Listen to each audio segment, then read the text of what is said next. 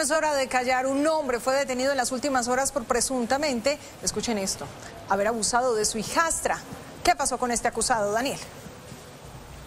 Así es, pues este hombre señalado por la Fiscalía Seccional Cundinamarca de cometer estos crímenes contra una menor de edad fue presentado ante un juez de control de garantías frente al cual decidió declararse inocente de estos hechos.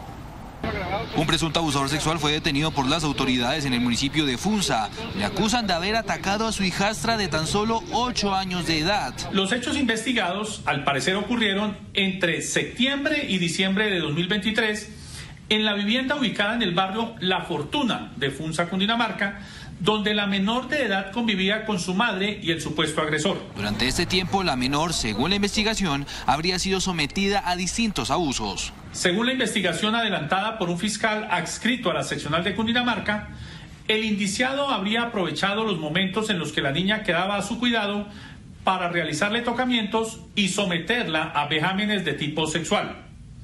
Por estos hechos, la Fiscalía le imputó el delito de acto sexual abusivo con menor de 14 años agravado. El señalado abusador, que capturado por servidores del Cuerpo Técnico de Investigación CTI y la Policía Nacional, no se allanó al cargo. A pesar de declararse inocente, fue enviado a prisión para enfrentar el proceso judicial en su contra por estos hechos.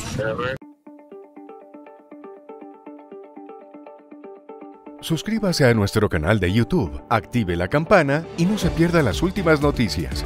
Somos Canal City TV.